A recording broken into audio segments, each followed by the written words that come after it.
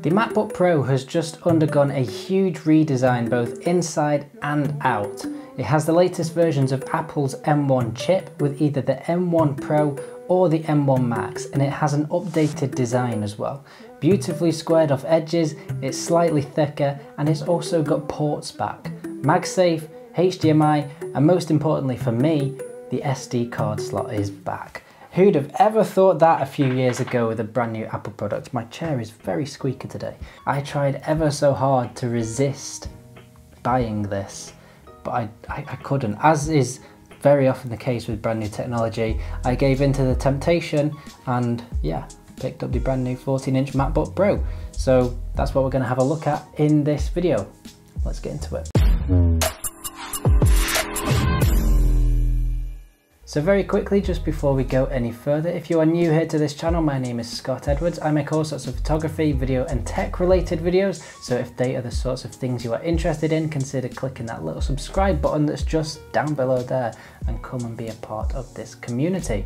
Now let's have a look at the brand new 14 inch MacBook Pro. This is the base model as I mentioned before and in this video I'm not I'm not going to go into all the benchmarks and specs and all of that because I'm not particularly interested in all of that. As impressive as the benchmarks are, I guess, I don't really understand them. So I'm just gonna look at it from my first impressions point of view and why this is pretty much the perfect laptop for what I get up to. If you wanna go and have a look at benchmarks and stuff like that, go and find another video because there are millions millions of videos all about that sort of stuff out there on YouTube. Now as I mentioned I tried really really hard to resist buying this but I gave in to the temptation and that being said I'm really not disappointed that I did because this is an unbelievable machine. It is so good. This is the baseline model 14 inch MacBook Pro. So it's got the M1 processor and 512 gigs of storage, I think with 16 gig of RAM.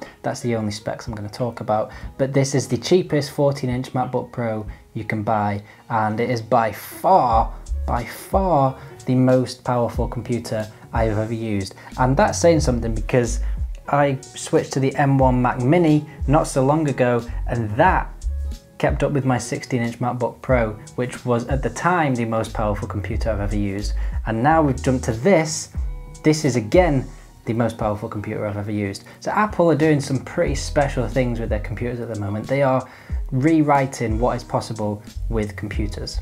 Now I could go on for hours about why I genuinely love this laptop and it fits in perfectly with everything I do. I know some people will have a few different reasons that they might not be so keen on this laptop, but for me personally, I can't find anything wrong with it for my use case. So what I've done is just picked out a few reasons as to why I think this is pretty much the perfect laptop.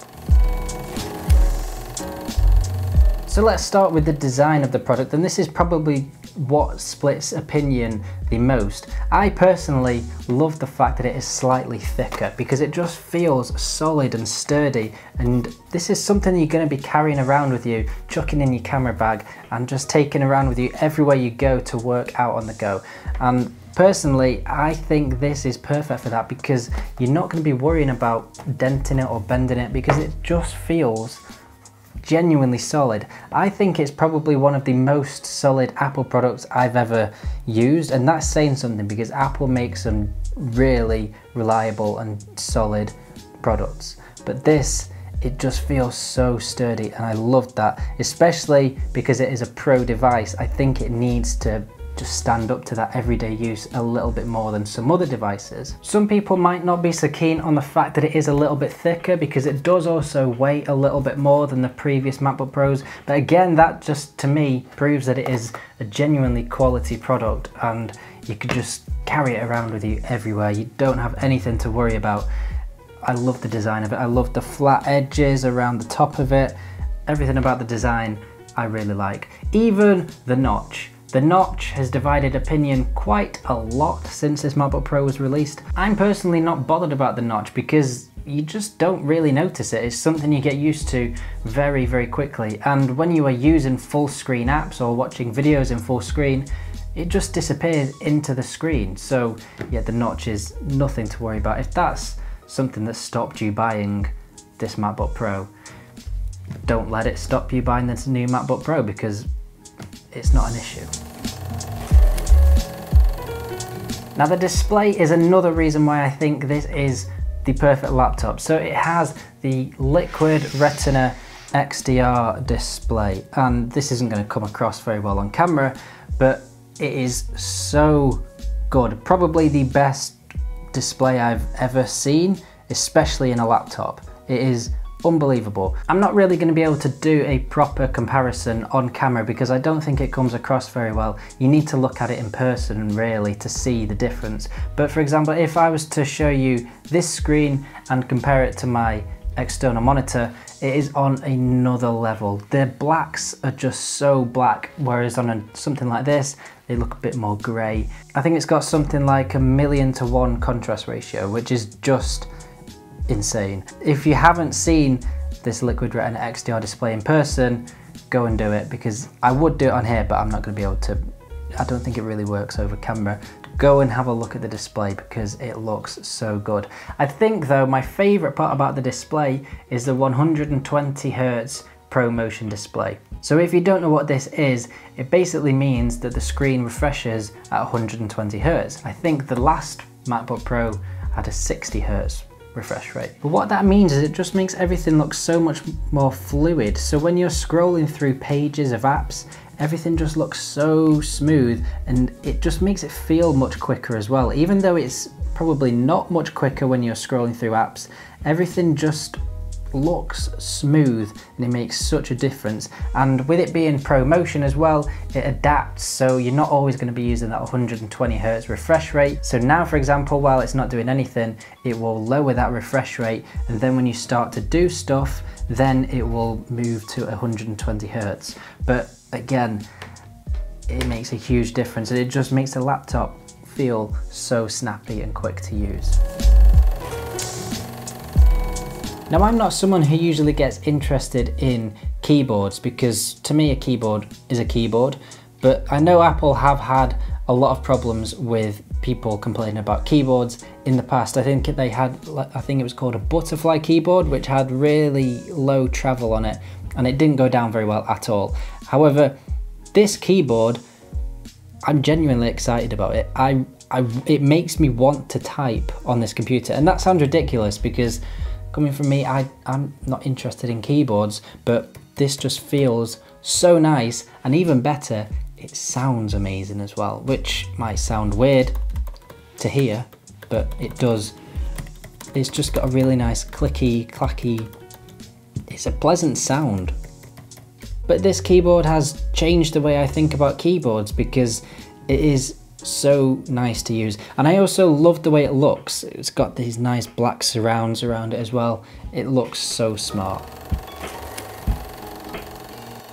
now if you've owned a MacBook or used a MacBook over the last maybe five or so years you will have probably been living in something commonly known as dongle land. So for example, if you wanted to plug in an SD card slot or an external hard drive or an audio interface to record some audio, you will have had to buy a dongle to plug into the USB-C ports on your MacBook Pro or your MacBook Air, whichever one you used. And that would then allow you to plug in your USB devices or your SD card slots, your external hard drives. Now, you don't because we have an SD card slot back which is absolutely incredible I don't think it should ever have gone away we've also got a HDMI port which is very useful and we have MagSafe as well which I didn't realize I missed so much it is so handy I love it. It does almost feel like a bit of a step backwards because you go back and look at the MacBook Pros from five, six years ago, they had loads of ports on. Had USB ports, SD card slots, HDMI, Ethernet. I think it had an Ethernet port on it, I might be wrong. But anyway, you go back a few years and it had all of them ports and then Apple got rid of them to USB-C. And I I think that was kind of a mistake, especially for something like an SD card slot, which is so commonly used among content creators when they're creating videos. For example, all my footage right now is being recorded onto an SD card slot. I don't want to have to carry a dongle around with me if I'm traveling somewhere so I can download my footage. I just want to be able to plug my SD card straight in and start editing straight away. And now now you can. If you forget your dongle, it's not the end of the world now.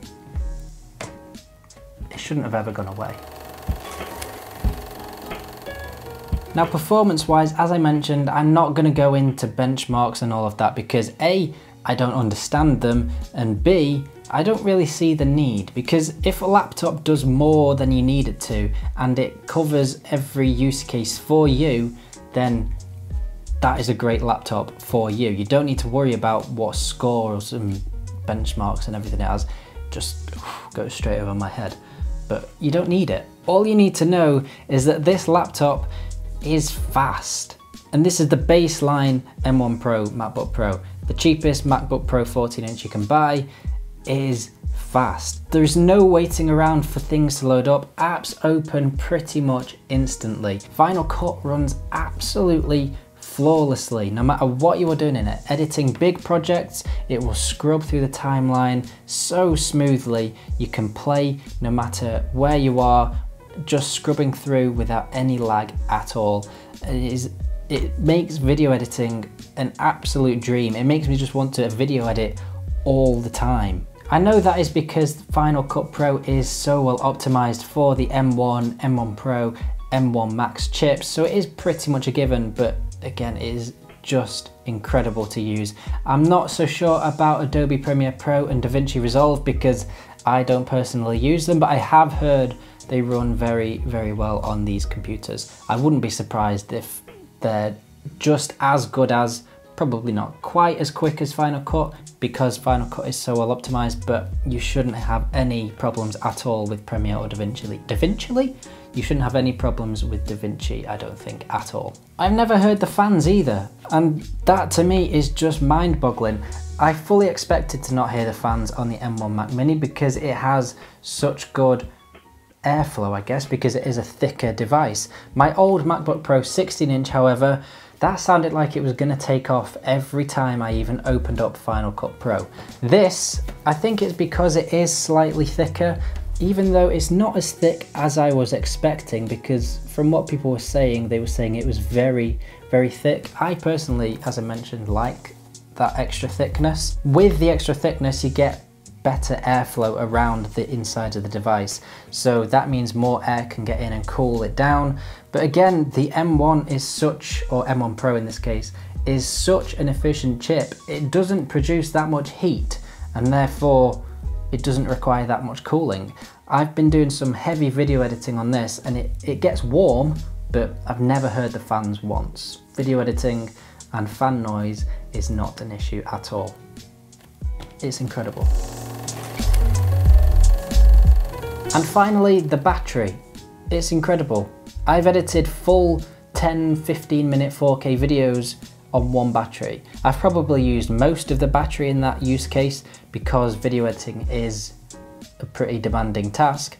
However, to be able to do that on one charge of battery, that is mind blowing. I couldn't edit probably half an hour on my old MacBook Pro 16 inch without having to plug it in. It just drained the battery straight away. So this is just a massive step up in battery life. It's probably not going to last as long as something like the M1 MacBook Air, but if you allow for the extra features like the Liquid Retina XDR display, to be able to, yeah, you know what I mean, it's just mind blowing what you can do on this thing. If you're not video editing and you're just doing light work, like word processing, or making a PowerPoint or watching videos, it's just going to last all day easily. So battery life, big thumbs up. Now a lot of people will ask whether they should go for the M1 Pro chip or upgrade to the M1 Max chip. And my personal opinion is for the majority of use cases and the majority of people,